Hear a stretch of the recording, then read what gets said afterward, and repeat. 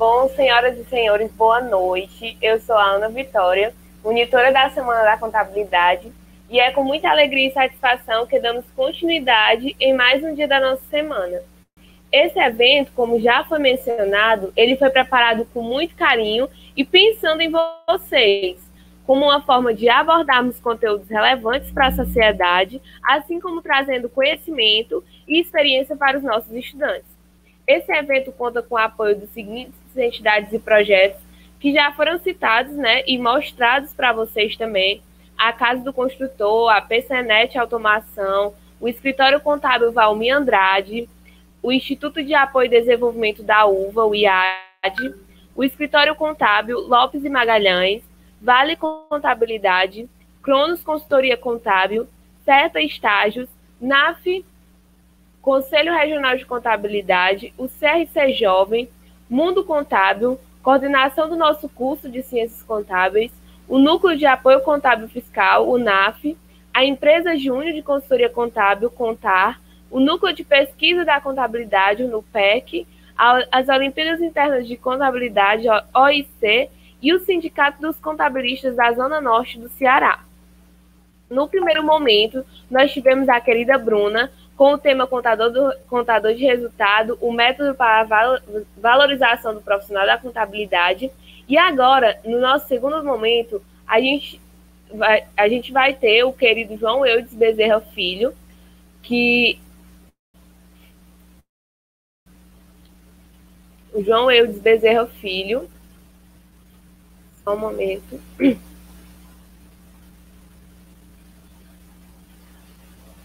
Eu tô pegando aqui o currículo dele.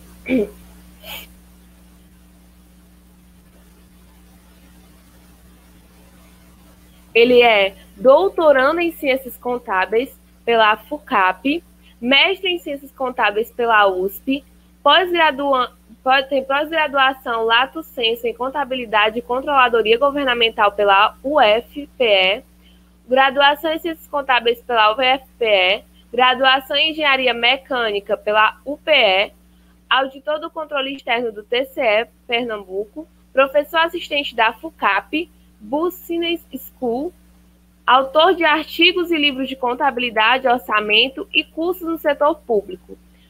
É, professor, seja muito bem-vindo. É uma honra e prazer recebê-lo. Eu vou passar a palavra para o senhor para que você possa fazer as suas considerações iniciais, certo? Boa noite a todos. Professor? Estão me ouvindo? Todo... Boa noite a todos. É um grande prazer estar aqui nesse evento, né, nessa Semana da Contabilidade. É, muito honrado por, pelo convite. Espero aqui passar para vocês é, algumas, alguns pontos, alguns itens é, da contabilidade pública brasileira. Estamos aqui à disposição para podermos seguirmos com a, a palestra da melhor forma possível. Fiquem à vontade para fazer perguntas. O professor Marcos vai nos acompanhar. E ao final da exposição, vou tentar ser breve para que a gente possa fazer um, um debate. Ok? Muito obrigado, professora Luciene, pelo convite a todos que fazem essa casa. Pronto, como o professor já mencionou, a gente vai ter a presença ilustre do professor Marcos Vinícius, que ele vai estar ajudando o professor, né, professor é, João Eudes, a, no decorrer dessa palestra, né, dando sempre as suas é, sempre as suas colocações que são muito pertinentes e importantes. Ele é graduando em Ciências Contábeis pela Unifor e em Direito pela UFC, tem especialização em Contabilidade e Controle pela Unifor, especialização em Administração Universitária pela URJ mestrado em administração pela Universidade Federal da Paraíba e PhD na área da concentração em organização, administração e finanças públicas pela Universidade do Arizona. Atualmente é professor associado da Universidade Federal do Ceará no curso de graduação em contabilidade e mestrado em administração e controladoria. Ele é instrutor da Escola Nacional de Administração Pública é membro do programa de extensão do Núcleo de Apoio Contábil Fiscal da UFC e ocupa o cargo de pró-reitor de gestão de pessoas da Universidade Federal do Ceará. tem experiência na área de administração e gestão pública, com ênfase em controladoria, contabilidade, orçamento, planejamento, finanças, arrecadação tributária, educação fiscal, evidenciação, auditoria e orçamento participativo.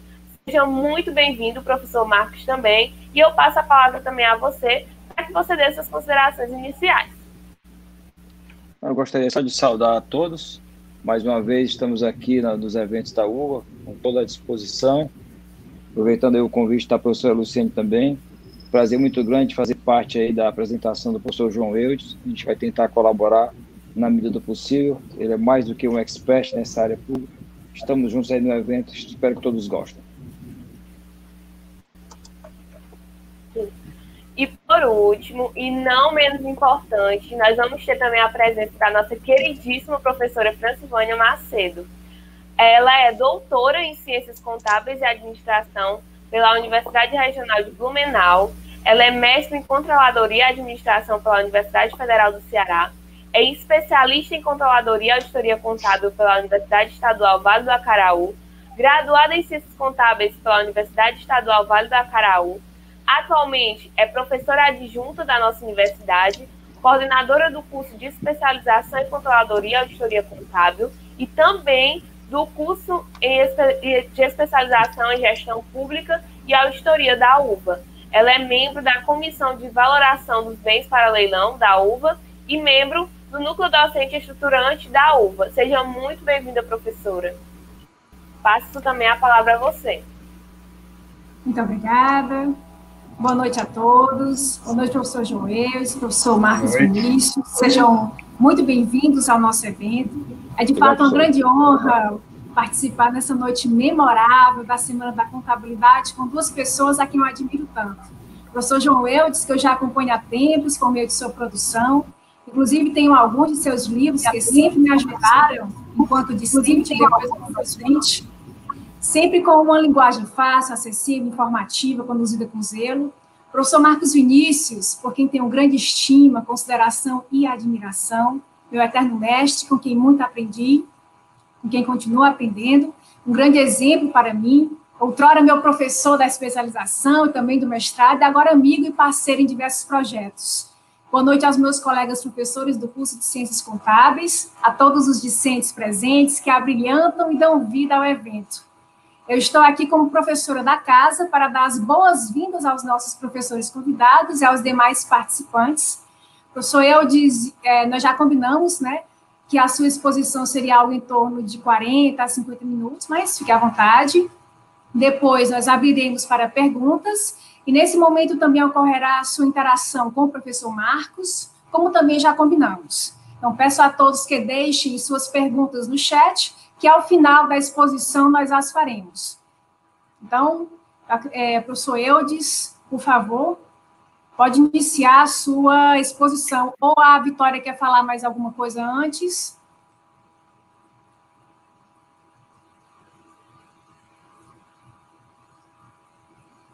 Não estamos te ouvindo, Vitória.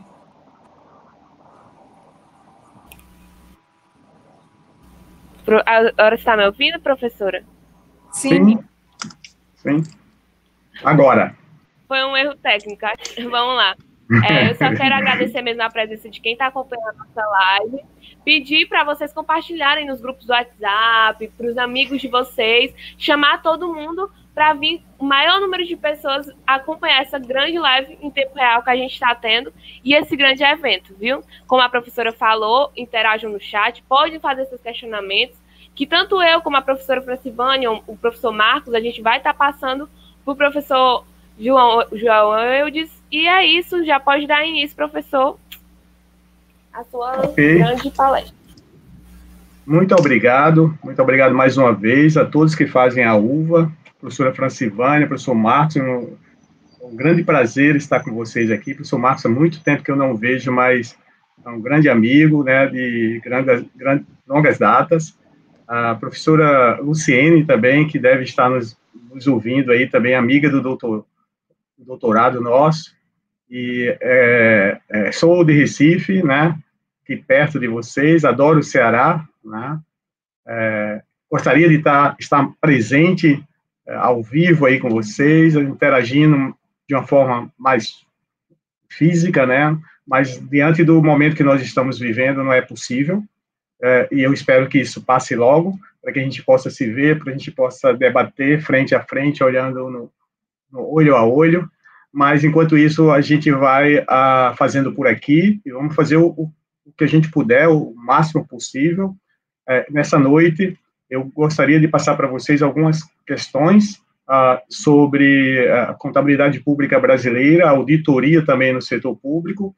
É lógico que o tempo não é muito é curto, né? Mas assim a gente está aqui para levantar alguns pontos, algumas questões uh, modernas ou questões que nós precisamos uh, estar atentos e os desafios da, da área pública, da contabilidade pública brasileira, para atender a nossa sociedade, a, a, a convergência com as normas internacionais, né, as auditorias no setor público, através dos tribunais de contas, controles internos, como elas deve, estão se portando, começando a se importar, uh, dentro desse no, dessa nova visão de contabilidade pública no nosso país.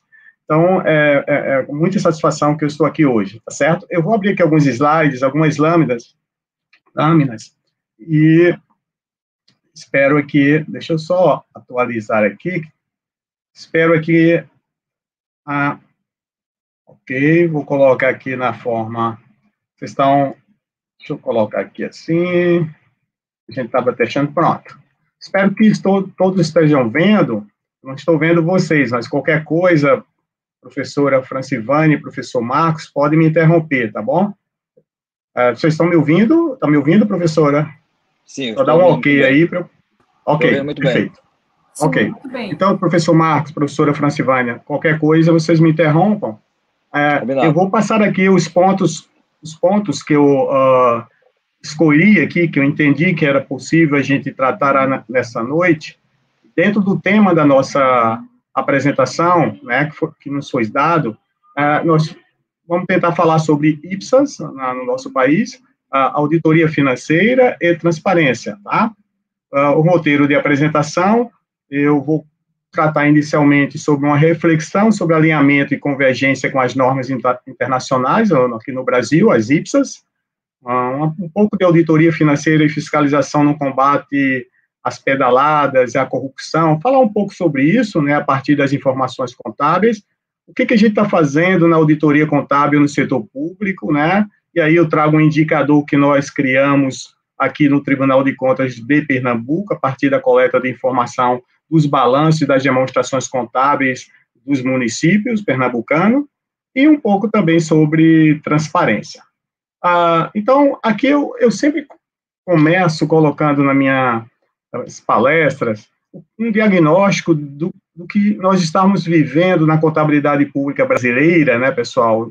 Ah, como os estados e municípios estavam prestando conta de seus balanços, seus demonstrativos, há 10 anos atrás. Ou até, eu poderia dizer a você, até mais recentemente, até uns 5 anos, 6, 7 anos atrás, nós tínhamos um balanço patrimonial, né, publicado pelos estados e municípios através de suas prestações de contas, elaborado pelos contadores que fazem as contabilidades dessas prefeituras, um balanço muito uh, ruim, um, um, com baixa qualidade de informação, né?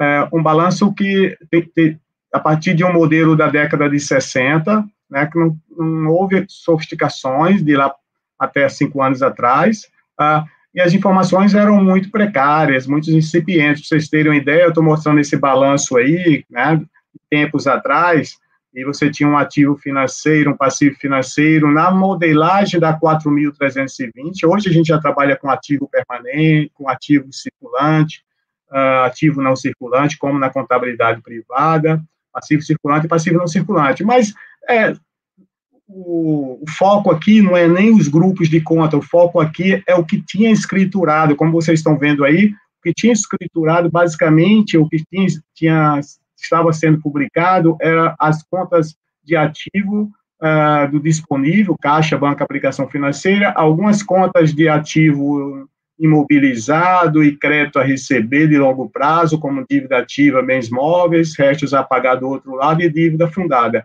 Uma análise, assim, bem rápida, quando a gente fazia nesses balanços, na época, a gente via que tinham vários ativos e passivos ocultos. Por exemplo, o imposto a receber, atendendo o princípio da competência, não vinha sendo registrado, pois se concebia que a, a, o, recebimento do imposto era o momento em que se deveria contabilizar, ou seja, era o regime de caixa para esses créditos, e na realidade, mesmo a lei sendo de 64, ela trabalha com regime de competência, mas não se registrava antes impostos a receber pelo seu fato gerador, não se registrava desajuste para devedores duvidosos, né, para créditos devedores duvidosos, e aí você tinha, é, é, não, você não tinha, ou não tinha como saber quem pagou e quem não pagou seus impostos, isso na contabilidade, você não tinha depreciação também, você tinha bens móveis, por exemplo, como estou aí, mas você não tinha a inscrição, o registro da depreciação, né?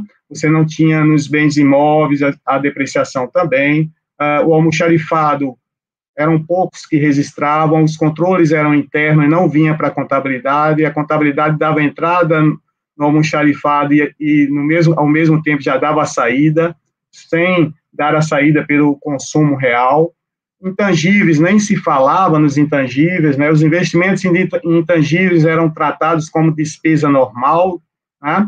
Ah, não se registrava intangíveis, nem se registrava, a, logicamente, a amortização desses intangíveis. Então, veja como era incipiente, como era ruim a nossa informação contábil no setor público.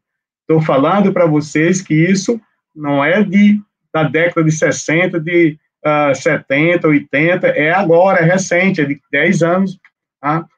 é, nos últimos 10 anos, nos últimos 15 anos, nós tínhamos essa situação. Bens de uso comum, os bens de infraestrutura, a construção de investimento de uma praça, de uma rua, eles não eram ativados, né? E saíam como despesa normal. Então, os investimentos em bens de infraestrutura não chegavam a ser ativados. Isso é ruim também, né? Porque esses bens de infraestrutura, eles vão sendo depreciados e utilizados ao longo do tempo. E aí vai depreciação desses bens, desembolso antecipado, caso houvesse algum desembolso antecipado, né? É, antecipações de, de, despesas tal, é, que a gente chamava antigamente de ativo deferido, também não era contabilizado. No passivo, provisões de férias, décimo terceiro, hoje a gente não chama nem mais provisões, né, obrigações com férias, décimo terceiro, pela competência não eram registrados, só eram registrados quando empenhados, quando tivesse dotação orçamentária, se misturava a forma orçamentária com a patrimonial, e as obrigações não empenhadas que não passasse pelo orçamento, né, o consumo de água, telefone, contratos de lixo, etc., que não estivessem empenhados orçamentariamente, mesmo consumidos, não eram apropriados pelo passivo, uh, e aí a gente tinha uma demonstração que realmente era lamentável, assim, né, para uma prestação de contas. E essa situação não podia continuar, pessoal. As dívidas judiciais também só vieram a ser registradas uh, nesses últimos tempos. E esses balanços eram uma verdadeira peça fictícia, que ninguém dava valor e nem credibilidade. Imagina isso aí de forma consolidada, né? O país tem que consolidar essas contas, mostrar para o mundo lá fora o que é que tem de ativo e passivo. Com essa incipiência de informação, nós não tínhamos é, como é, é, ter credibilidade, né? Com o, o fidelidade com essas, com essas informações para a sociedade nem para o mundo. Daí veio a necessidade uh, de convergência, né? trazer normas internacionais para a nossa, nossa contabilidade pública brasileira, começarmos a ter né, é, é, é, alternativas e ações no sentido de é, melhorar essa contabilidade pública, e para que pudéssemos fazer isso, isso foi lá em 2010, é, houve a necessidade né, de se institucionalizar dois grupos né, com, com o propósito de se fazer a convergência uh, da contabilidade pública brasileira em relação à contabilidade internacional.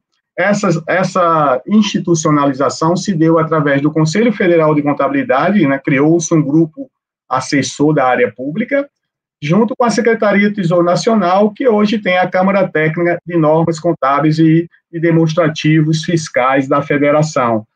Então, esses dois órgãos aqui, né, o nosso Conselho Federal de Contabilidade, a partir de 2008, começou a se preocupar né, com essa realidade, porque uh, nós, nós, contadores, somos formados, como vocês estão aí, no exercício da graduação, se, profissional, se profissionalizando para é, exercerem a atividade de contabilista ou de contador, seja na iniciativa privada, seja na iniciativa pública. Então, não podemos só estar atentos ou estar fazendo normas para a contabilidade empresarial. A contabilidade pública também é, faz parte do contexto da contabilidade é, nacional. Então, o CFC é, sentiu essa necessidade, ou, ou mesmo foi reivindicado para que começasse a se preocupar com as normas voltadas para a contabilidade pública. Além da convergência com as normas internacionais, do CPC, né, é, que já estavam ocorrendo, precisavam fazer também convergências com as normas é, internacionais para a contabilidade pública, que não tinha nem norma brasileira, para vocês terem uma ideia, né, muito menos normas internacionais. Então, nesse contexto, lá em 2008, foram criados uh, esses dois órgãos, né, ou essas duas instituições, né, que trabalharam em grupo, eu fiz parte inicialmente desses grupos, né, e uh, nos dias de hoje, né, depois de 2008 até, nós temos aí cerca de 12 anos, né, nós temos já uh, ah, 26 normas que estão relacionadas nesses dois slides, já convergidas, pessoal, com as normas internacionais. Obviamente que teve todo um caminho, uh, somente a partir de 2016 foi que se publicou essa norma aqui, que é a estrutura conceitual, o framework da, da IPSAC, aqui no Brasil. Então, as normas é, internacionais, as IPSAS, elas passaram a ter um nome aqui, um título de Norma Brasileira de Contabilidade Técnica do Setor Público, 01, 02, 03, né, estoques, ativo imobilizado, ativo intangível, correlacionadas do lado aqui direito com as normas do IFAC. O IFAC é a Federação Internacional dos Contadores, né? e que produz as IPSAs, 110 países do mundo trabalham hoje já com convergência com IPSAs, de forma direta, de forma indireta. Nós trabalhamos de forma indireta. Nossas normas uh, são praticamente elaboradas a partir da tradução das normas das IPSAs com ajustes à nossa realidade. Então, esse é um arcabouço conceitual bastante interessante e promissor para que a gente venha a tratar a contabilidade pública brasileira, seja da União, dos órgãos da União, dos estados e municípios, num contexto de definições de teoria da contabilidade internacional, tá? Então, nós estamos com 26 normas publicadas até então. Final do ano passado, nós tivemos essas normas é, a 26, a 25 publicadas, né? Esse ano, nós devemos ter, não sei se por conta da Covid, como é que está o planejamento lá do CFC, mas existe mais umas 10 normas para a gente finalizar o conjunto aí das IPSAS. Ah, publicar as normas não quer dizer também que elas tenham que ser aplicáveis imediatamente. Nós não, nós não temos aqui, às vezes, é, expertise para aplicar uma norma do tipo ativo biológico e produto agrícola. Mas, se tiver uma instituição pública que trabalhe com ativo biológico e produto agrícola, o contador daquela instituição vai ter um ferramental, né, uma riqueza de informação de norma para que ele possa a, aplicar na sua realidade. E aí, se o contador está trabalhando com uma questão como a amortização de um ativo intangível, ele vai lá e pesquisa na norma brasileira de contabilidade 08 e você vai ter aqui ativo intangível tratado no setor público como deve ser a amortização, o ativo imobilizado também, o estoque, algo que nós não tínhamos antes. Então, muitas vezes a gente ia pela jurisprudência dos tribunais, pela similaridade com o IPC, né, com as normas do setor privado, e hoje a gente tem normas agora aplicadas ao setor público. Ok, gente? Bom, é, essa é a nossa realidade hoje, estamos continuando avançando, né?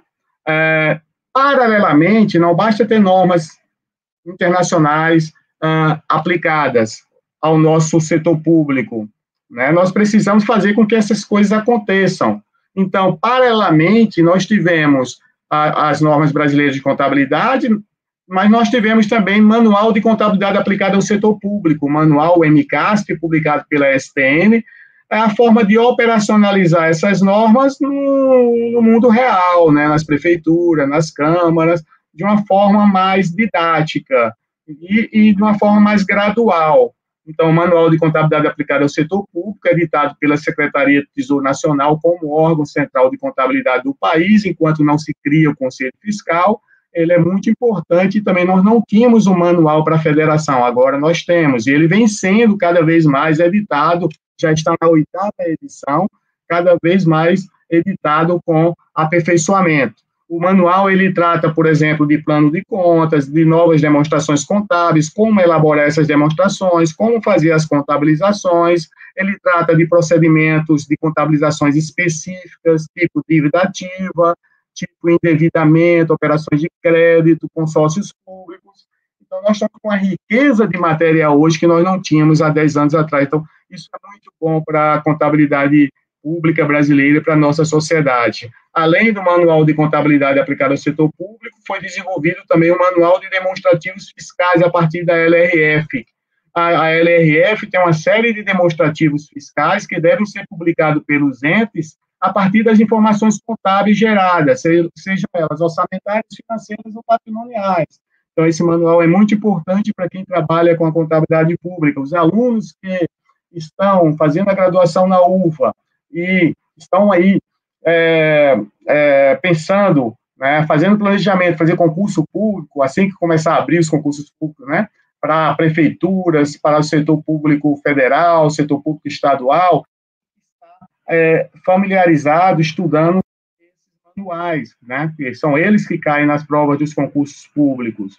O manual de contabilidade aplicado ao setor público, eu repeti aqui, desculpa, sal, matrizes de saldos contábeis e SICONF, que são um repositório das informações, depois que é, se conseguiu é, padronizar os, o plano de contas e padronizar demonstrações contábeis nesse país, a partir de 2014, 2015, por aí, já foi possível é, fazer um repositório mais confiável.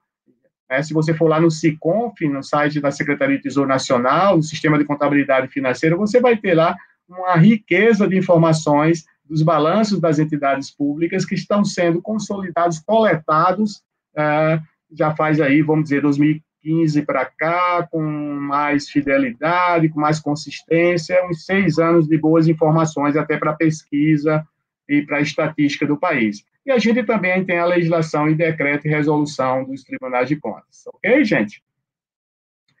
Bom, é, passada essa parte, a gente vai entrar aqui né, com alguns toques sobre a contabilidade como provedora das informações para a transparência. Então, uh, vocês estão, nós estamos no momento de eleição, né, de pré-eleição, né? Então, nós vamos ter agora, no dia 15 de novembro, o exercício da democracia para uh, prefeitos e vereadores, não é isso? E aí, prefeitos e vereadores eles lidam com as cidades, com os municípios, com as capitais. É, então, em tese, pessoal, nós deveríamos, como cidadão, estar atento ao plano de plano de governo, melhor dizendo, de cada de cada candidato. É, eles são obrigados a entregarem um plano de governo para o, o eleitoral, né? O Tribunal Eleitoral uh, Regional. Se você for lá no site, você tem o um plano de governo dos candidatos. É, nós não estamos acostumados a, a é, ler esses planos de governo, né? A, nós, nós, deveríamos é, sermos é, estar mais atentos a isso aí, né? A cidade, trabalhar com a cidadania, né? E aí ir lá e dar uma olhada nesse plano de governo e ver o que, que aquele governante está prometendo. Por quê, pessoal? Isso é muito importante. Porque esse plano de governo do candidato que ganhar, ele vai ser o espelho, ou deveria ser o espelho para o plano plurianual, PPA, né, dos municípios. No caso aqui, estou trabalhando com 2018 a 2021. O novo PPA vai ser de 2022, segundo ano do governo, para o primeiro do outro. E assim por diante. São quatro anos de vigência. Então, o PPA é onde você tem lá as diretrizes, os programas de governo, as ações, as metas, os produtos que aquele governante e a sua equipe é, prometeram ou, ou desejam fazer para aquela municipalidade. Então, a partir do plano de governo. Então, existe uma interação aqui entre o PPA, que está na Constituição, e o plano de governo. E o PPA, na medida que ele for aprovado e for sendo executado, ano a ano, ele vai ter duas peças, duas leis que, está na, que estão na Constituição, né, dando os critérios lá, que é a LDO, Lei de Diretriz Orçamentária, e a Lei Orçamentária Anual, né, execução da receita e da despesa pública, dos programas que estão alinhados com as políticas públicas. Tudo isso, pessoal, para no final uh, você ter uma execução de ações e serviços públicos, né? obviamente que nesse momento nós vamos ter os ativos das entidades e os passivos e os, o patrimônio, a contabilidade da entidade, né, patrimonialmente falando, atuando nessas diretrizes de elaboração da LOA, que foram estabelecidas na LOA, para que gere, os serviços gerem, é, gerem valor para a sociedade. Então, em todas as áreas, educação, saúde, serviço social, assistência social, uh, trânsito, lazer, turismo, uh, legislativo, judiciário.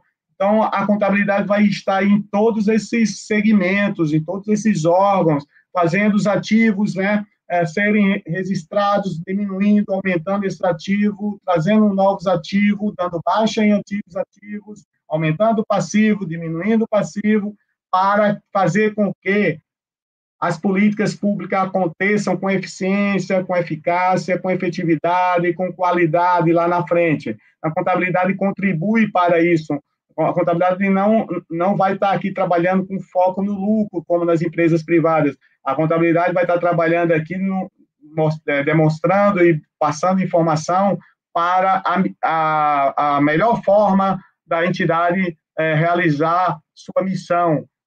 Quando ela está realizando sua missão com eficiência, né, dentro do, daquilo que é registrado, daquilo que é adquirido, daquilo que é consumido de insumos, possivelmente está fazendo e prestando um trabalho com mais qualidade para a sociedade. Então, vocês veem que isso está tudo integrado, né? E como não é fácil, assim, chegar e, ah, só vou vendo o ativo, estou vendo o passivo. Opa, peraí, a gente está vendo esses ativos e passivos aqui serem transacionados, mas eles têm todo um objetivo, né?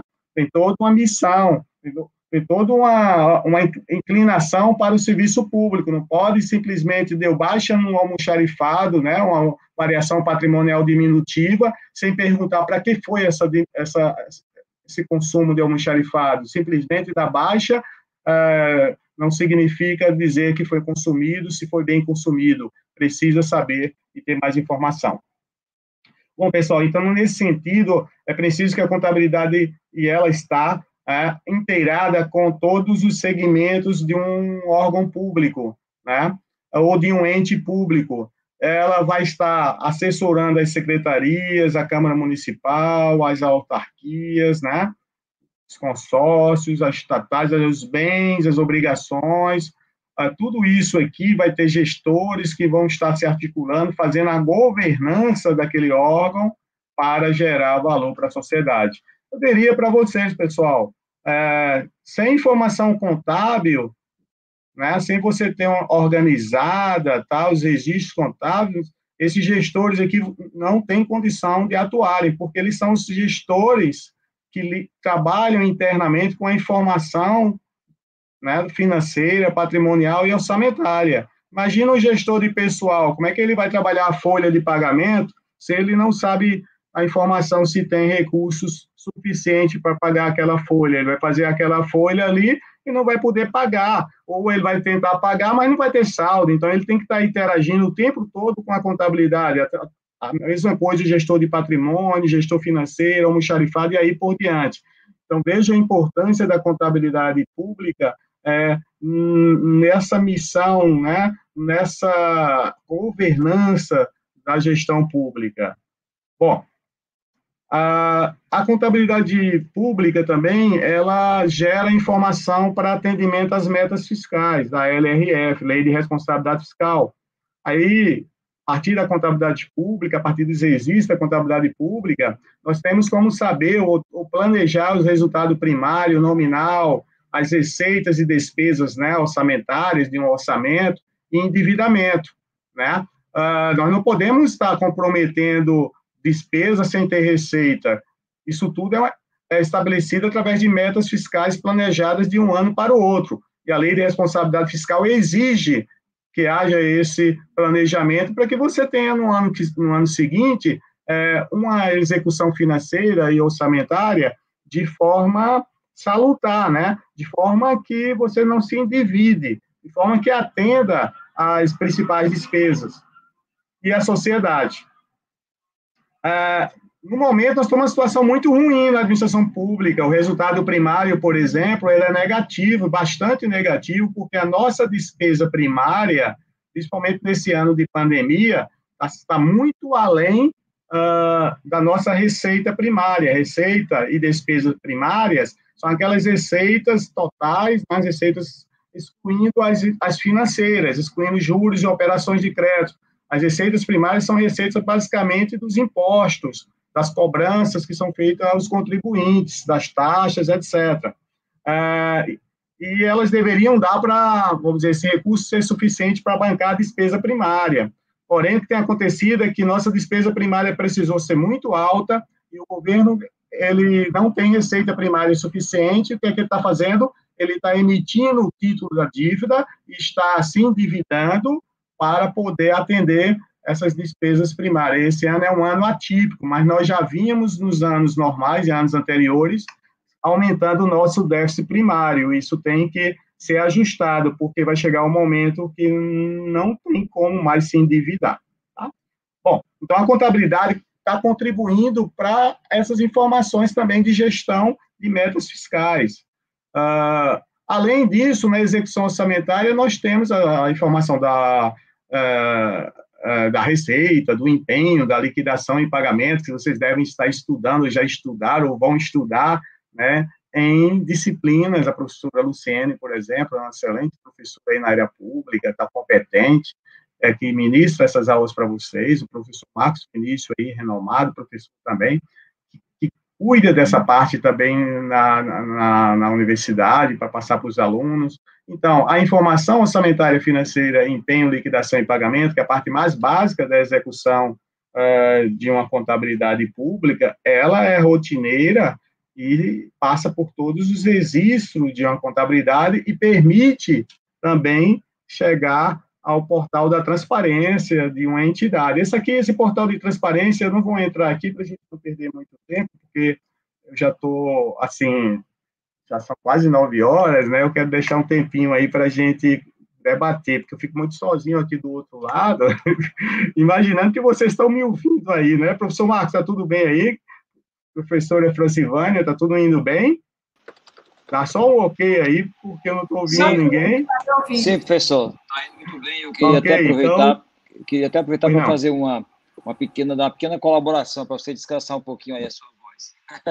Não, você, você falou duas, duas observações interessantes. A primeira que é com relação às IPSAs, né? Só voltar um pouquinho, super rápido, que na verdade o objetivo principal das IPSAs questão da convergência do padrão da informação contábil, né? Isso acaba favorecendo também a questão da transparência. Por exemplo, um investidor internacional, ele procurar alguma coisa no Brasil, ele vai procurar as informações dos demonstrativos contábeis do governo brasileiro e aí sim ele toma a decisão se investe ou não no Brasil. Então, esse é um ponto interessante que a ZIPS está trazendo isso a nível global. Do ponto de vista lá da informação contábil, que dar suporte a todas as áreas da gestão. Você tocou num ponto muito é, assim, peculiar ao que eu estou vivendo hoje à frente da Prefeitura de Gestão de Pessoas da UFC. A UFC hoje é a décima maior universidade do país. E se eu falar assim, em número de servidores, a nossa folha hoje tem 10 mil pessoas, né? São 6 mil ativos. Então, aconteceu um detalhe interessante, que exatamente dependendo dessa parte que você começou a, a informar aí sobre a questão orçamentária. Nós tínhamos o orçamento para pessoal na universidade. Olha, imagina a folha da UFC hoje é 95 milhões mês. Imagina o tamanho do negócio, né? você tem uma ideia, o orçamento da UFC é o terceiro maior orçamento do Estado, atrás do governo, do Estado e da Prefeitura de Fortaleza. 1,4 bilhões. O terceiro município, que é Calcaia, está ali, beirando os 750 milhões. Olha a diferença, né? Mas o grande volume dessa despesa da UFC vai para o pessoal. É aquilo que você falou, que a área de gestão de pessoas tem que estar totalmente vinculada à informação contábil, passando pelo orçamento, exatamente isso que aconteceu com a gente agora. Nós estamos com o orçamento esperando uma aprovação de uma suplementação orçamentária para que a gente possa, então, fazer os provimentos, ou seja, os concursos daquelas aquelas vacâncias que existem por conta das aposentadorias, dos pedidos de exoneração e até de falecimento. Então, nós estamos hoje na universidade com 67 vagas, um ponto para fazer concurso, cheio de gente querendo entrar, e a gente não está com condição orçamentária ainda. Então, fazendo esse ajuste, aguardando a aprovação orçamentária, aí sim tem condição de avançar exatamente usando a informação contábil lá na área de recursos humanos. Queria só fazer essa, essa, essa questão prática, que é exatamente aquilo em cima do que você falou. Perfeito, professor Marcos. Eu acho que é, nós temos muito campo aí para os profissionais da contabilidade pública e, pra, e principalmente para os que estão se formando, né, para quem está fazendo a graduação, pensar nessa possibilidade, porque você é, pode fazer um concurso, você pode é, se profissionalizar e a tendência é que haja uma profissionalização cada vez maior ah, na administração pública, né, é, com promoções meritórias, é, há uma aclamação da, da sociedade em relação a isso. Então, eu espero né, que a gente tenha cada vez mais profissionais de contabilidade no setor público. Muito bem, eu posso continuar aqui? Ok. Então, assim, eu já estou partindo para. Uh, eu já estou partindo aqui para nossa. Deixa eu só ampliar aqui. E peraí, que houve. Deixa eu. Está voltando aqui, né? A metade para o final da nossa explanação, professor. E aí eu estava falando aqui, não foi das metas fiscais? Muito bem. E das metas fiscais, outra atuação da, da contabilidade, também falei sobre receita, empenho, liquidação e pagamento, portais da, de transparência. Eu coloco esse material à disposição de vocês, depois dê uma olhadinha, que a gente não teria tempo aqui para estar tá olhando esses portais, mas seria bom. Mas vocês vão lá quando tiver um tempinho e vejam o que, que vocês têm informações nos portais de transparência. Lembrando que esses portais de transparência melhoraram muito ah, com as informações contábeis nesses últimos 10 anos, pessoal. Nós não tínhamos portais de transparência, ou, ou se tínhamos, tinha com pouca informação.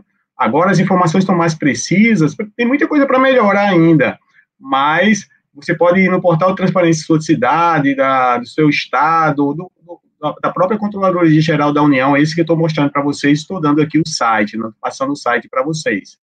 Também tem informação muito boa ou interessante que nós estamos vendo uh, avançar, né, professor Marcos e professora Francipânia, para pesquisa, para pesquisa e para a uh, sociedade como um todo, que são os indicadores uh, econômicos que são gerados a partir das informações da, das contabilidades dos estados e municípios. Por exemplo, eu trago esse aqui, que é muito utilizado nas consultas, que é do FIJAN, né?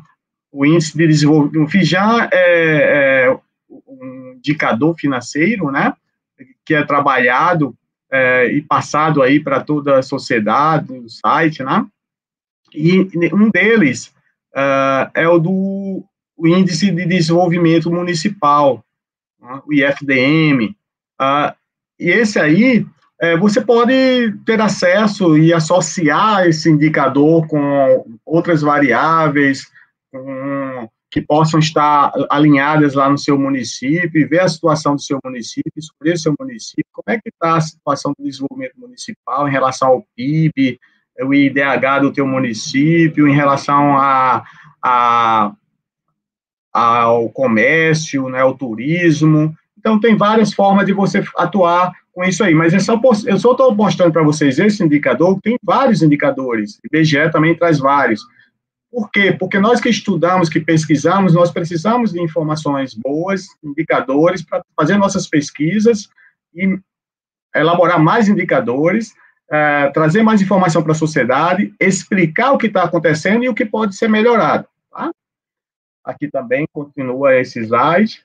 Uh, aqui eu, eu, eu, estava pesquisando Recife, né, o IFDM de Recife, ele variou ao longo do, de alguns anos, né, esse aqui é 2013, E aí você tem a renda, o trabalho, é interessante para a pesquisa.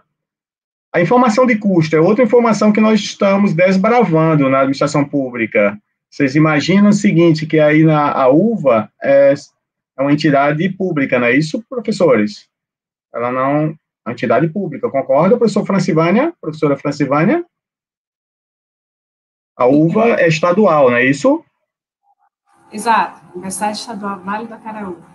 Ok, então vejam, como é que a gente pode utilizar as informações da contabilidade pública para customizar uh, os serviços que são prestados aos cidadãos? Para depois a gente tomar a decisão para mostrar para a sociedade.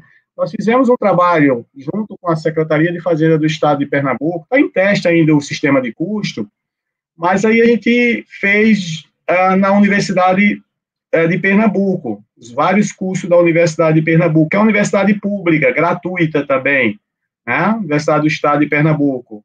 E nós temos aqui, por exemplo, o curso de engenharia, que é na Politécnica, nós temos 3.337 alunos. O curso de odontologia na FOP, nós temos 509 alunos, na, na, época que a gente fez a pesquisa.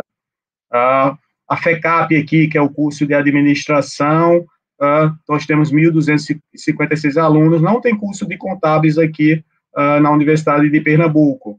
Ah, tem o direito, tem o curso de pedagogia. Bom, ao todo aqui, se eu não me engano, são nove faculdades que formam a Universidade de Pernambuco. A pergunta é, pessoal, qual o custo de um aluno, custo médio de um aluno da Politécnica, do aluno de odontologia, do aluno da Faculdade de Ciências Médicas, 779 aqui, qual o custo disso aqui? Quanto o governo do Estado está proporcionando os contribuintes, é, à sociedade né, a esses alunos, já que já que a faculdade é gratuita. E aí a gente foi lá e fez aqui, né, pessoal, uh, o custo direto dessas faculdades, né, por aluno. E aí a gente tem aqui que a faculdade que tem maior custo aluno no ano, isso aqui é 25 mil reais por ano, tá bom? Leia-se assim, 25 mil e 62, 620, é a da odontologia. Então, dá 25 mil por, por ano. Se você dividir por 12, dá um pouco mais de mil reais, né? Dois mil reais, melhor dizendo, uh, por mês. A Faculdade de Ciências Médicas, 20 mil, então quase dois mil reais por mês aí também. A faculdade que tem um custo de aluno mais, é, mais barato, vamos dizer assim, né? Consome menos, tá? é, a faculdade de é, administração aqui em Pernambuco, FECAP, que a gente chama, 4.043, se você dividir por 12 aí, dá uns, que, uns 300 e poucos reais tal. Então, aí a Polis, 5.090, e aí vai. Então, pessoal, a gente já tem uma referência aqui no estado de Pernambuco de quanto custa cada aluno desse em média, nos seus diversos cursos. Essa informação é importante? É, para saber e comparar com a iniciativa privada, né? Para saber cada pai aqui ou cada aluno desse quanto ele está recebendo do Estado e ele valorizar o seu curso, né? para saber se em algum momento a gente precisar, né? o, custo total aqui deu 13 milhões 559, 55. Se em algum momento é, o Estado quiser debater sobre cobrança com a sociedade sobre cobrança de mensalidade no setor público, que é algo tão, né, nas, nas universidades públicas, é algo tão polêmico, quanto poderia ser para quem pode pagar, e aí isso só se faz, ou só se pode discutir, ou se pode, ou só se debate se nós tivermos as informações de custos, porque senão a gente vai trabalhar e ficar debatendo isso no achismo, e aí a contabilidade de custo, ela pode ajudar muito nessa discussão, um trabalho interessante que nós fizemos aqui também, junto com a professora Luciane Santos, que está nos ouvindo aí, né, num doutorado da FUCAP, foi é, com relação às receitas uh, arrecadadas e a arrecadar com e sem contraprestação. Essa terminologia, receita com contraprestação no setor público e sem contraprestação, ela é uma terminologia é, é, trazida, vamos dizer assim, pelas IPSAs 23 e a IPSA 9, que se consolidou aqui no Brasil através da norma brasileira de contabilidade 1 e 2 foram as primeiras normas brasileiras de contabilidade aplicadas ao setor público, que foram publicadas em 2016, 2017, é, já é, convergida com as IPSAS. Mas importante, a gente não tem essa visão aqui nas prestações de contas, é, nós que estamos trabalhando agora para incutir essa visão, porque se você ver aqui das receitas arrecadadas, eu coloquei Fortaleza aqui, nós fizemos todas as capitais. Fortaleza, da sua receita arrecadada total, 92% é sem conta prestação. Aqui se inclui os tributos, as taxas, né, as contribuições, aquelas receitas que são arrecadadas pelo Estado e aquele contribuinte que está é, pagando, ele pode receber ou não diretamente aquele serviço do Estado. É o caso, por exemplo, de um tributo do, do IPVA. Você pode estar pagando o IPVA lá no seu estado e você não está utilizando a estrada do seu estado, você está utilizando o trânsito de outro estado ou de outra cidade. Né? E quando você está pagando o IPVA, você está contribuindo para outras pessoas que não pagam IPVA ou são inadimplentes de estarem andando ali também. É, é, então, as receitas de impostos, elas são tratadas como sem contraprestação, porque você não consegue individualizar o serviço.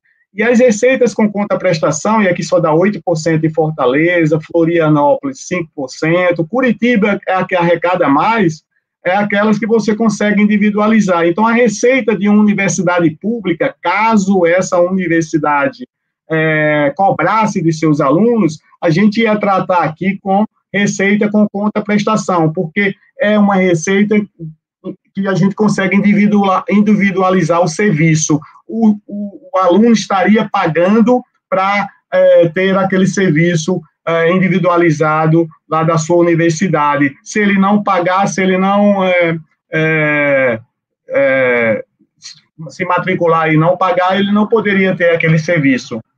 Então, essa receita com conta prestação aqui no nosso país, ela é muito é muito baixo a sua arrecadação.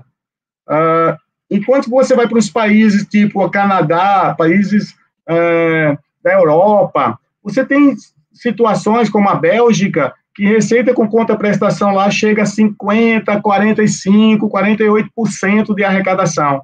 Se você consumir mais lixo do que o seu vizinho, né, você tem que pagar uma margem de consumo de lixo, melhor dizendo, consumir lixo não. Deixa eu me explicar melhor.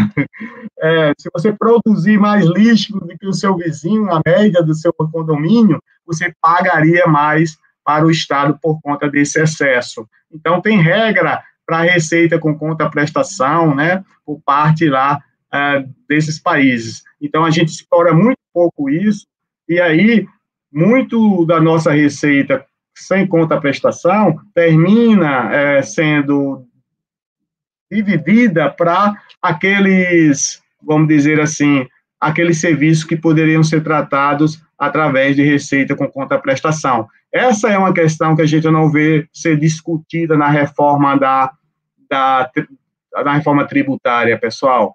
É, receitas com conta prestação. Por que, que não se discute isso no nosso país, tá? Porque talvez não dê voto, né? Infelizmente. Muito bem. Vamos lá.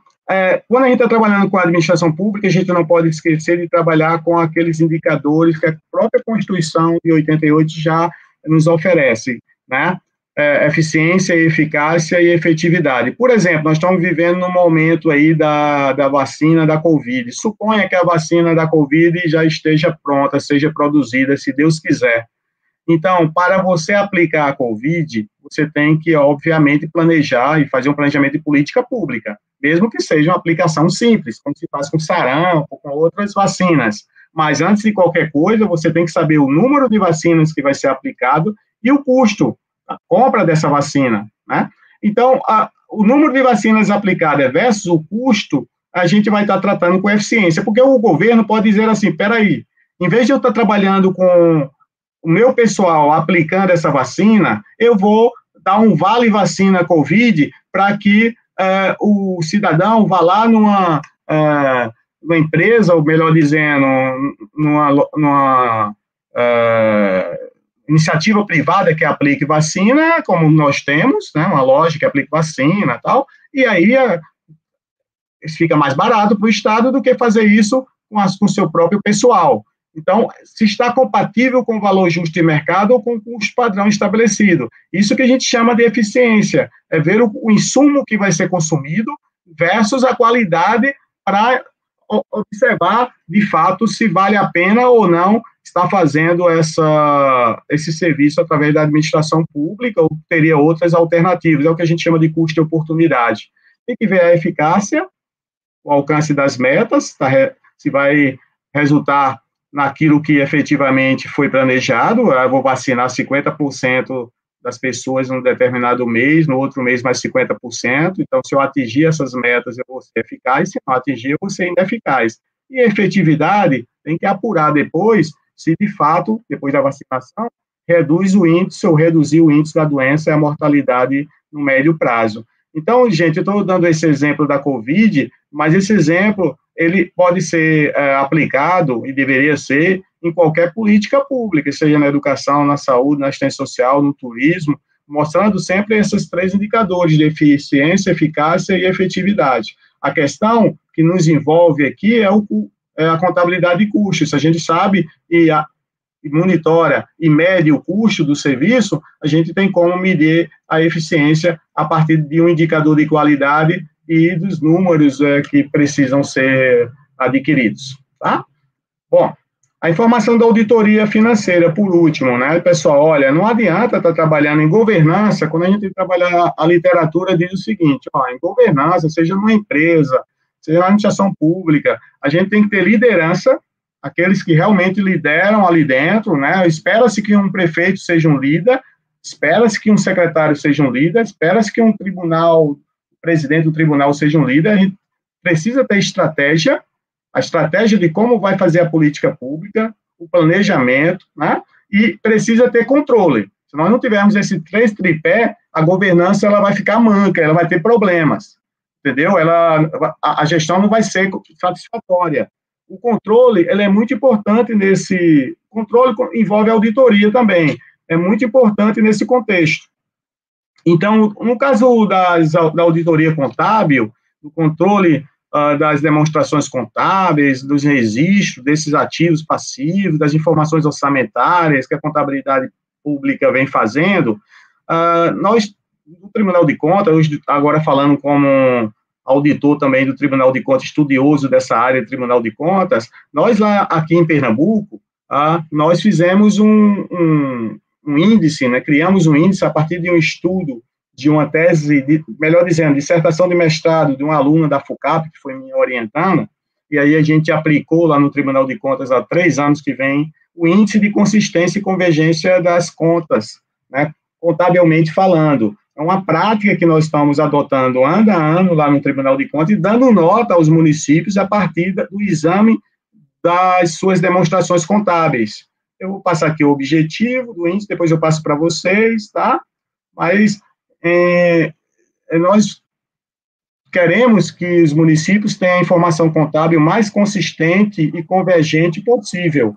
Aí a gente estruturou critérios de avaliação, e aí estou mostrando para vocês 47 itens de critérios de convergência.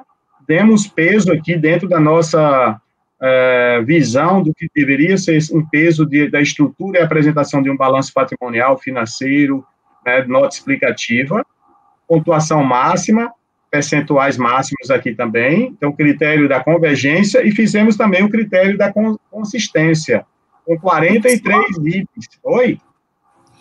É, professor, a gente tem mais cinco minutinhos, professor.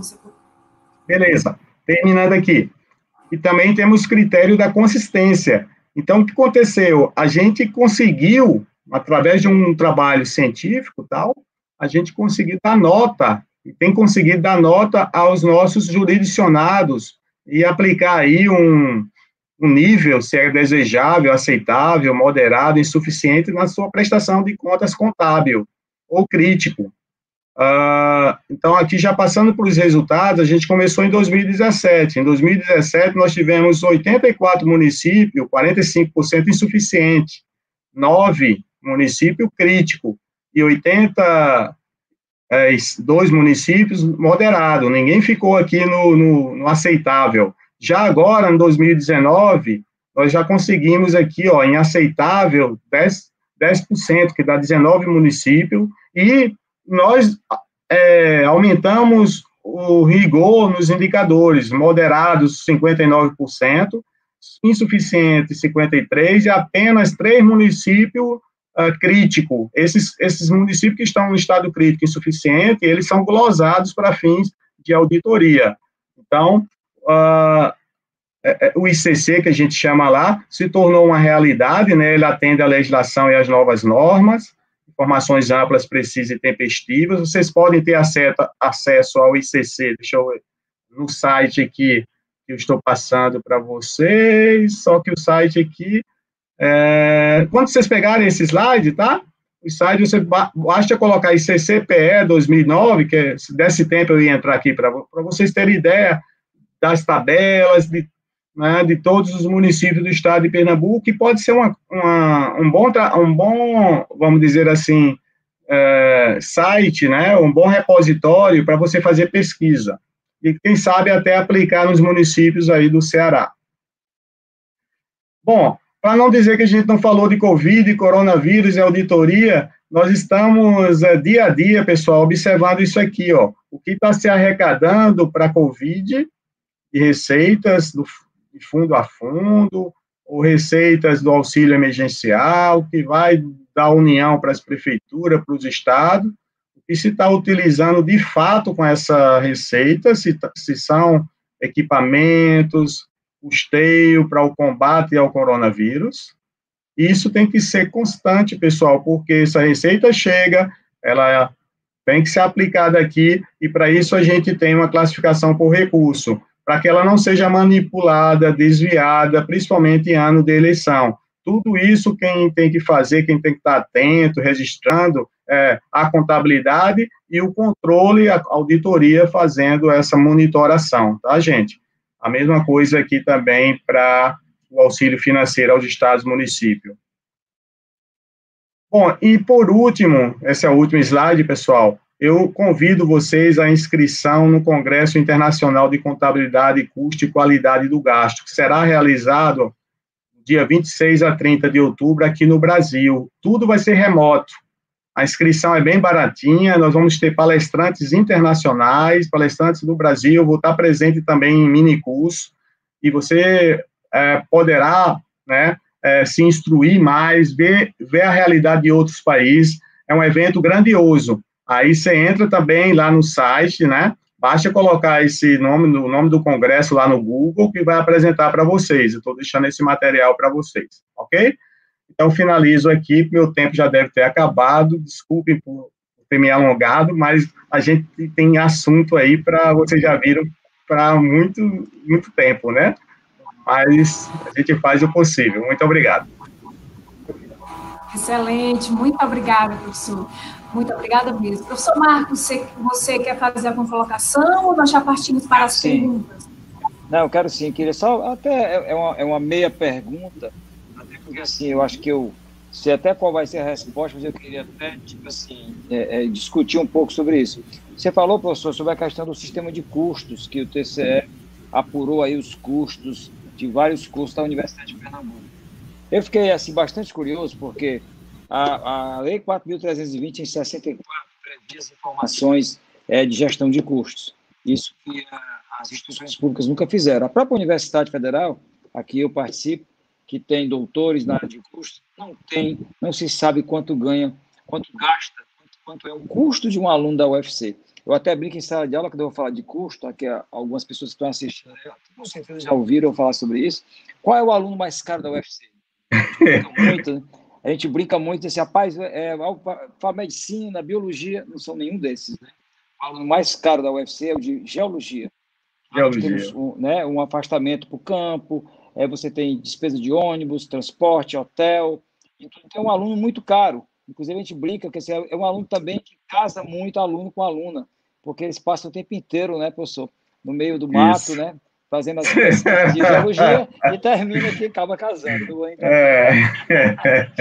Então, assim, eu pergunto, como, como é que é, é, o tribunal tem um sistema de custos? Ou isso foi avaliado apenas assim, a despesa total da universidade, dividido pelo número de alunos? Como é que o tribunal chegou a isso? Porque, não, não foi. Eu tenho curiosidade, que eu não conheço o sistema de custos funcionando nas universidades. Ok, Marcos, é uma pergunta é, é bem interessante. Não, não foi o tribunal que elaborou o sistema de curso. O sistema de curso é da Cefaz, da Secretaria da Fazenda. Ah, Cefaz. Tá. É, eu que participo lá do grupo com eles, dando, dando lá minhas opiniões tal. E esse, esse sistema de curso já vem sendo criado de dois, desde 2015, né? E tem uma equipe, tem um comitê aqui de custos. Então, esse, ele está em, em teste e um dos testes está sendo feito, foi feito, foi na Universidade de Pernambuco. E aí a gente soube agora que o curso mais caro, o aluno mais caro lá é, de, é o de odontologia. Depois vem o de medicina tal, e, e o curso mais barato lá é o de administração. Mas agora nós estamos com é, valores corretos, porque esse curso não é, não é orçamentário, não. Esse custo é o do consumo mesmo dos insumos, é o custo pela competência. E aí, a partir ah, do tá. sistema já informatizado, buscando informações em todos os sistemas é, itinerantes, estruturantes. Excelente, muito bom, então. Então, assim, quer dizer que tem um sistema de informação, não está ainda finalizado, eu acredito que está em informação. Muito bom que as universidades em si não têm sistema de custos. Né? Aqui no Ceará, a gente já tentou fazer pesquisa nessa área, e a dificuldade é realmente não há a questão da disponibilização do sistema. Uma outra pergunta, eu acho que eu encerro a minha participação, pelo menos assim, se tiver uma outra eu, informação. Eu queria só falar um pouco a respeito disso, professor. Certo. Professor? Oi, não. É, em relação aos cursos que vocês estão comentando, nós desenvolvemos um estudo aqui na universidade, utilizando as informações do relatório de gestão, analisamos quatro anos. E é, nós não olhamos realmente o custo por aluno, mas a eficiência na utilização dos recursos da UVA, URCA e UES nas informações desse relatório de gestão.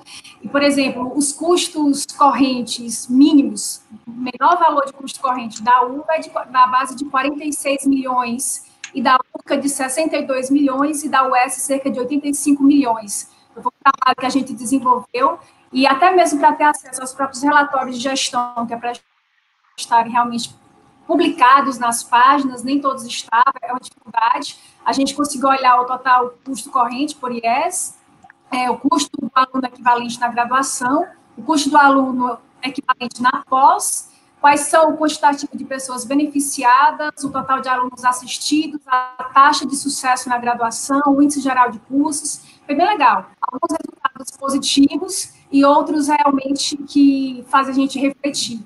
Mas só esse adendo para a gente conversar a respeito das nossas universidades estaduais, esses valores mínimos. E os máximos, por exemplo, na UES, cerca de 247 milhões. Então, tem que saber gerenciar bem para que seja realmente eficiente. Nós sabemos que os recursos são escassos. Perfeito. É isso aí. Só isso, professor. Pode... Então, é, professor João, tem uma pergunta aqui no chat que eu estava observando mais cedo, do Henrique Souza. E eu, assim, em atenção ao, ao aluno, ele pergunta sobre informações da auditoria financeira, que ele tem dificuldade nas pesquisas. Então, eu queria até compartilhar com você do TCE. Eu imagino que, pelo menos nas nossas pesquisas em auditoria, a gente consulta basicamente os relatórios financeiros, porque a auditoria financeira nada mais é do que a avaliação dessas peças financeiras. Não é como aquela auditoria de gestão que você vai ver a regularidade, aonde foi feito o pagamento, se teve licitação, se não teve, que logicamente isso aí Agora, as fontes de pesquisa, eu imagino que você vai procurar nos manuais de auditoria financeira, as normas brasileiras de, de auditoria do setor público dão essa, esses indicadores, né? E nos relatórios dos demonstrativos financeiros é a fonte de você pesquisar isso. Agora, assim, os, os, detalhes de como foi feita a auditoria aí já é uma coisa que assim, realmente é mais é difícil de pesquisar. Se o professor, o professor João tiver alguma informação para dar além disso, eu acho que atenderia a resposta é... completa do aluno. O Henrique, Obrigado, professor, pela pergunta e, e, o Henrique também. O Henrique, se você puder dar uma entrada no site é, do ICC, Índice de Consistência e, e, Convergência Contábil do Estado de Pernambuco, que é esse que eu estou falando aí, eu falei aí na apresentação, você coloca no Google ICC, né, ponto .pe, em que você vai ter uh, esse índice uh, e os quesitos que são trabalhados lá, mais aqui dos municípios do estado de Pernambuco. A, nós fazemos uma auditoria praticamente eletrônica, com três servidores, para 184, 184 municípios. Então, não é brincadeira, não. Eles passam dois meses em cima disso aí. Mas cada vez mais a gente vem informatizando, melhorando. Já se tornou um indicador institucional lá no, no tribunal. Os, é como passar numa prova. Os contadores das prefeituras ficam aguardando a nota deles, né? a nota da sua, uh, da sua contabilidade. Isso é muito, é muito bom. Né? E, e aqueles que ficam com o ranking lá embaixo, estão inconsistentes, essa auditoria vai fazer o, como é que a gente chama? Uh, a gente é, glosar para que é, possa ser verificado numa auditoria mais é, é, próxima o que, que eles erraram tanto, por que tanta inconsistência, por que, né, então, o que é está acontecendo ali naquele município? Então, nós estamos chegando a um nível de auditoria que permite nos aprofundar a partir de uma auditoria mais macro. Mas, de fato, é, artigos nessa área de auditoria do setor público são muito raros, são muito raros, né? Então, nós não temos é, é, é nós precisamos produzir. Nós não temos essa expertise na área acadêmica, o pessoal é, publica muito pouco. Mas se precisar de alguma coisa, pode mandar para o meu e-mail que eu posso ver o que, é que a gente tem por aqui. Excelente, professor. Ah, uma, outra, uma outra observação é sobre as trilhas de auditoria que o TCE aí de Pernambuco está fazendo com relação aos recursos federais que são passados aos municípios nesse momento da Covid, né? que, na verdade, muitas informações são fabricadas do ponto de vista político, não vou entrar nessa ideologia política, mas a minha, minha pergunta é sobre ah, se o tribunal está com alguma trilha de auditoria bem definida com relação ao acompanhamento do, dos recursos que estão sendo aplicados nos municípios, no caso aí, no seu caso, recursos estaduais para os municípios, né? E é porque você falou lá no começo, falando da questão do Covid, da fonte da receita, onde é que deve ser aplicado lá na despesa, que eu vi lá o seu o seu, o seu, o seu slide. Mas eu pergunto, tem uma trilha definida, o tribunal tem esse monitoramento desse recurso? Está sendo tem sim. evitar o gasto errado, né? Vamos dizer assim. Isso. Tem sim. Eu acho, é, a, nós fizemos nesses últimos cinco anos também é, bastante trilhas de auditoria é, com as informações contábeis, né? É, e aí a gente tem a inteligência artificial permitindo que a gente possa fazer esse confronto entre aquilo que está registrado na fonte de recurso, naquela despesa, com, a, com os fornecedores que estão sendo contratados, né, com o tipo de licitação, com é, a questão da, da forma de é, a forma de trabalho daquela empresa, se tem sócio, se é servidor público, se não tem, se ela tem, como ela está atuando naquela re, região, é, se ela se a, se prefeitura escolhe mais aquela, aquela empresa do que outra, então, nós estamos conseguindo fazer uma, uma, de, uma devassa, assim, dentro do... Uh, com essas informações. E agora, mais ainda, que a gente tá, fez vários convênios de troca de informação com Polícia Federal, com Polícia Civil, né, com o Ministério Público, e estão fazendo trilhas, vamos dizer assim, é, em parcerias, que aí a tecnologia está favorecendo e a demanda da sociedade para a gente pegar aí. Por isso que estão sendo pegos, porque senão você não conseguia pegar, não. Agora você está pegando algumas empresas e você está prendendo essas pessoas e o Tribunal de Contas está atuando. O Tribunal de Contas não prende, mas ele contribui muito nessa fiscalização que está sendo feita aí, que chega até a Polícia e o Ministério Público. Professor Marcos, seu, seu fone está desligado. Acho que agora, agora. Deu certo? Deu certo. É o Tribunal de Contas da União, no âmbito das universidades federais, eu digo na parte de recursos humanos, que é que eu estou agora na gestão, tem feito uma análise assim, em relação ao Covid. Por exemplo, eles fiscalizaram recente, sabe, questionando a universidade se nós estávamos pagando auxílio transporte aos servidores. Ora, se nós estamos em trabalho remoto, então não pode ter auxílio transporte. Né? Olha aí a, a, visão do tribunal, né? E ainda querem saber se os professores estavam trabalhando nos laboratórios, já que não estávamos com aula também presencial, porque tem também aqueles adicionais de insalubridade que os professores, porventura, recebem durante o período do Covid. Então, o tribunal tem feito esses monitoramentos, total, levantando os dados através do CIAP, que é o Sistema de Pessoal Federal.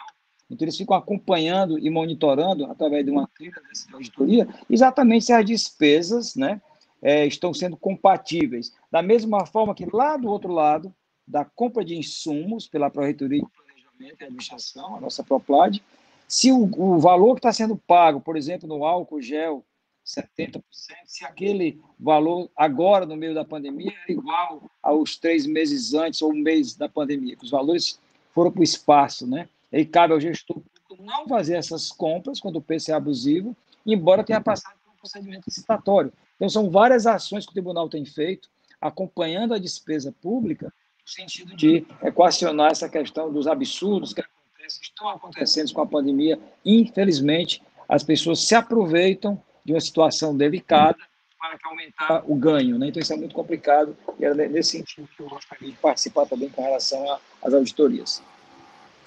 Professora Luciane, a professora você aí. Professora Francivânia. É, então, no cenário. Vocês estão me ouvindo? Sim. Okay. Então, em um cenário que a gente tem a Lei 43 que ela representa um marco, um marco legal da contabilidade pública brasileira ainda em vigor e partindo dessa, da, da linha de discussão que o Brasil necessita de um novo regramento jurídico que atenda o artigo 65 e substitua a lei de finanças públicas que a gente tem atualmente, que é a 4320, quais são os entraves que a não atualização, modificação, a própria revogação da lei 4320 tem ocasionado em relação ao processo de convergência às IPSAS? É, então, assim, isso foi uma discussão muito boa quando a gente começou a fazer as normas brasileiras de contabilidade lá em 2010, as primeiras normas. É, se, se, se é necessário alterar a Lei 4.320 para a gente ter uma boa contabilidade no país. E a gente chegou à conclusão que não era necessário, mesmo com as, a lei de 64, quando ela trata de contabilidade lá no seu arcabouço, ela deixa bem claro lá que os ativos têm que ser registrados, os passivos têm que ser registrados, as variações aumentativas, as variações diminutivas, pelo regime de competência, resultante ou independente da execução orçamentária. Então, assim, a gente começou a cair a ficha de que o que a gente, que nós mesmos, né, é, vamos dizer, professores, escritores da área pública, da contabilidade pública, nós misturarmos né, registros orçamentários com registros, patrimoniais. Se nós formos falar sobre registros orçamentários, nós precisamos é, aperfeiçoar a Lei 4.320. Mas se a gente está falando de registros patrimoniais, tipo ativo, passivo, patrimônio líquido, é, resultado VPA e VPD, não há necessidade. É tanto que o manual de contabilidade, a partir das IPSAs que foram publicadas, tal, ele vem sendo estruturado com um plano de contas capaz de registrar qualquer coisa como na iniciativa privada, em relação à contabilidade patrimonial. Na contabilidade orçamentária, que é o sistema orçamentário que a gente chama, aí a gente tem que seguir rigidamente a Lei 4.320. Por exemplo, a Lei 4.320 não tratou de PPA. Por quê? Porque a lei é de 64, o PPA foi criado, o plano plurianual foi criado em 1988. Né? As metas fiscais foram criadas em 1900 2000, e 2000, a partir da lei de responsabilidade fiscal. A lei de, não tinha sido é, alterada ainda. Então, para o trato dessa parte orçamentária é, e a gente melhorar esses mecanismos de registro é, que vá atender a lei, há necessidade de, de, de, avanços, de melhorar, de substituir a Lei 4.320. Existe um projeto de lei é, no Congresso Nacional que está lá desde 2015, né? E esse, 2016, melhor dizendo, ele está com o número lá 295, ele, inclusive, já foi aprovado tal para substituir a 4.320. Ele foi aprovado pelo Senado e falta ser aprovado pela Câmara lá dos Deputados. Mas aí, ah, depois do impeachment, aquela coisa toda, terminou sendo engavetado. Até hoje não colocaram para frente. Mas a necessidade de alterar, lógico, uma lei de 64, mas nós conseguimos melhorar os demonstrativos contábeis, nós conseguimos melhorar os, o plano de contas aplicado agora a toda a federação, sem necessidade de mexer uma linha na Lei 4.320 e ninguém indagou que nós estávamos fazendo alguma coisa ilegal. Tem uma pergunta aqui da, da professora Luciene que Em relação ao grau de implantação das IPSAs nas entidades públicas brasileiras, quais seriam as principais limitações nesse processo? E aí eu, eu junto à pergunta dela, uma outra que eu já ia fazer, quais seriam os, os fatores de resistência nas entidades públicas que, que já puderam ser observados em relação à implantação das IPSAs? Muito bem. As IPSAs, elas começaram a ser é, aplicadas ou publicadas a partir de 2016. O framework da, do IPSAB foi publicado como estrutura conceitual a partir de 2016, é bem recente. As, tem IPS ainda sendo publicado. Então, o que tem acontecido no nosso país? A gente sabe que o arcabouço da IPSA é imenso, de conceitos, definições e orientações. É, nós estamos, é, e a STN, junto com a Câmara Técnica, é, filtrando das IPSAs aquilo que pode ser é, feito agora e colocando no manual de contabilidade aplicado ao setor público. Eu diria que, em relação ao total das IPSAs, nunca, a gente não fez um estudo ainda mais incisivo, mas nós, nós, nós estamos atuando aí com 10% das IPSAs, ou menos, em relação àquilo, o que tem no manual em relação às IPSAs. Então, o que, que as prefeituras e câmaras e tribunais de contas estão trabalhando hoje? Estão trabalhando em cima do manual de contabilidade aplicada ao setor público, porque isso é uma realidade que já está conexa com os demonstrativos contábeis. Impairment, avaliação, uh, conceitos que foram trazidos das IPSAs. Agora, ativo biológico, foi uma IPSA que foi aprovada o ano passado, final do ano passado. Se tiver algum órgão que trabalhe com ativo biológico, não está no manual ainda não. Mas aí eu, a, por conexão, é, espera-se que o contador daquela empresa vá lá e já utilize a IPSA. Mas vai chegar o momento que vai estar no manual. Agora, infelizmente, assim, o que a gente tem, a estrutura dos municípios, a estrutura dos contadores, a falta de incentivo, a falta de salário, tal, que tem ocorrido. Nós temos uma pesquisa que até 2018, é, a parte patrimonial, somente 30% daquilo que era para ter sido feito foi feito. Então, os municípios. Isso é muito ruim, que a gente também não viu uma tendência de evolução de, de aplicação. Por exemplo, inventário, somente 30% das prefeituras nesse país fizeram.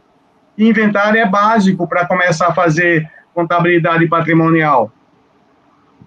Então, é uma realidade bem triste, vamos dizer, para a contabilidade. Nós, nós, acreditamos que falta é, o quê? Impulso uh, dos tribunais, falta recurso financeiro, falta capacitação, resistências nós temos, mas o, fator não é a resistência, o fator é estrutura mesmo, é um país continental, que você tem 11 contadores na capital, lá no interior você não consegue pagar bem um contador, ou não tem um contador, o cara vai lá de 15 em 15 dias. E essa é uma realidade que precisa ser mudada, a estrutura, para que a gente possa fazer as coisas acontecerem. acontecerem. A gente fez um estudo, não, ainda em relação aos outros normativos que não eram ainda alinhados com as IPSAs, é, e a gente percebeu na região metropolitana aqui de, de Sobral que há realmente um, um despreparo notório por parte desenvolvidos no processo de implantação dos novos padrões. Há um desconhecimento dos elementos novos que devem ser respeitados, implementados, e tem muita centralização do processo de disseminação desses normativos que vão ser executados. Essa por algumas percepções que a gente teve em relação aos outros normativos por meio das resoluções que nós tínhamos até então, foram substituídos. A gente tá, vai atualizar futuramente para ver a postura em relação a esses, a esses novos que é, estão em vigor. É, foi avisado aqui sobre o tempo que nós já temos que, é, infelizmente, para a, a discussão, está é, excelente, muito bom, bate-bola, mas eu, eu, pergunto ao professor Marcos, professor Marcos, tem mais alguma colocação, alguma pergunta para que a gente possa encerrar? A organização me pediu para a gente já ir fazendo as finalizações. Não, queria só fazer uma fala final aí, aproveitando aí que já está no fim, né? Que muito bom a nossa participação aí, as explicações do professor João Eudes, que há muitos anos não nos viu, né, mas foi excelente. E acho que as pessoas devem ter aproveitado o máximo da experiência do professor. Então, estamos à disposição da UVA em outros trabalhos, como sempre, né? Praticamente todo ano eu dou uma, duas aparições aí pela UVA. estamos à disposição, professor. Foi um prazer revê-lo, professor João Eudes, muito bom, professor Obrigado. Obrigado a todos vocês. Muito obrigado, Marcos. Eu sou João Eu, você quer fazer alguma colocação? Depois eu faço as, os meus fechamentos e a gente passa a bola para a Ana Vitória. Olha, eu só quero agradecer. É, eu, professora Luciene, professor Marcos Machado e agora a professora Francivânia é, já me conhecem, sabe como eu sou um entusiasta nessa área, né? Eu tô, é, mesmo com todas essa é, resistência, não diria resistência, com esses impedimentos, essas limitações, que a gente está tendo ainda, mas eu estou muito feliz em a gente já ter avançado alguma coisa, porque até antes, como vocês viram aquele balanço que eu mostrei, era uma realidade que é, inconcebível para um país em desenvolvimento. Né? Hoje a gente já tem um instrumental que a gente já pode gerir para que faça as coisas acontecerem. Então, basta, veja só, nós, estamos fazendo esse seminário, vocês estão fazendo esse seminário, esse congresso tal, que está tá se discutindo e debatendo contabilidade pública, tal, alternativas, custos, ah, coisa que não acontecia antes, nós não tínhamos isso com tanta frequência, estudos com tanta frequência. Então, é bom incentivar, é bom estimular, e é bom que saia da universidade, é bom que os alunos, a nova geração, comecem a gostar dessa área também, tá? que ela precisa de profissionais competentes, mais mais ainda. Tá? Eu quero agradecer do coração estar aqui com vocês, tá? E espero que em outras ocasiões a gente possa estar presente fisicamente, né? Muito obrigado. Então, é, eu agradeço a oportunidade de participar desse momento de grande aprendizado ao lado dessas pessoas ilustres. Agradeço ao professor João Eudes, novamente, ao professor Marcos Vinícius, por virem aqui compartilhar seus conhecimentos conosco. Muito obrigada. E, claro, parabenizo a vocês pelos saberes que foram repassados para a gente com tanta maestria essa noite. Parabenizo a organização do evento, a todos os envolvidos nesse evento maravilhoso, majestoso, a equipe do Centro Acadêmico de Ciências Contábeis, Padre Sadoc, a minha reverência, quanto orgulho de vocês, vocês são gigantes, são capazes de realizar qualquer feito e feitos grandiosos. Agradeço a participação de todos os professores, na pessoa da nossa querida coordenadora, professora Luciene, professora Luciene que, é, Luciene, que é sempre maravilhosa, cheia de alegria contagiante, de um profissionalismo sem igual e um coração gigantesco que todo mundo conhece. Eu agradeço com todo carinho a todos e a cada um dos alunos participantes nessa noite, nas noites anteriores e nas noites que aqui estão por vir. Pronto.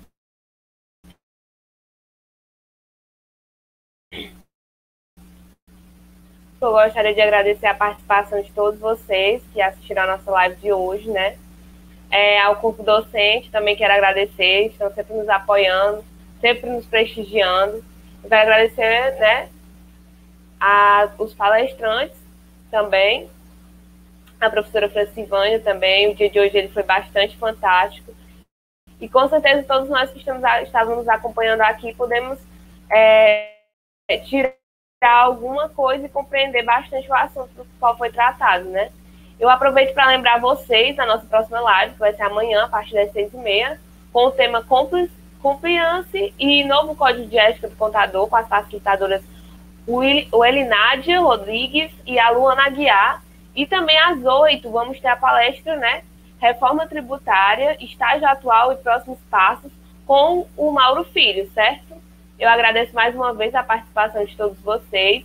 Eu peço que antes de vocês saírem da live, deixem o like, se inscrevam no canal, para vocês nunca perderem nada do que forem que for colocado aqui.